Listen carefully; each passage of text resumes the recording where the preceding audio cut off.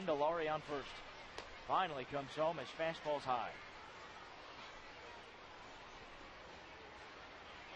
Webster Rivas, who's been in the league for quite some time, almost gets past Byler at first. Does have some thump at the bottom of the Burlington order. And they could use a long ball right here. Preventative defense in the outfield for the Cougars. One ball, no strikes. Take it, a strike on the outside corner. And Young has a firm fastball at times, and he works corner to corner extremely well. Two college pitchers facing off today.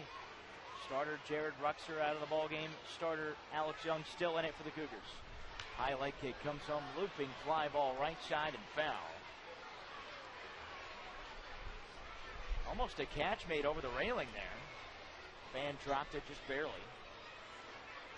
Saw a great catch yesterday in the suites off the railing. A fan caught it off the ricochet. One, two, two outs. Young with the runner on first. And gets him strike three. Rivas looking at the slider on the outside corner.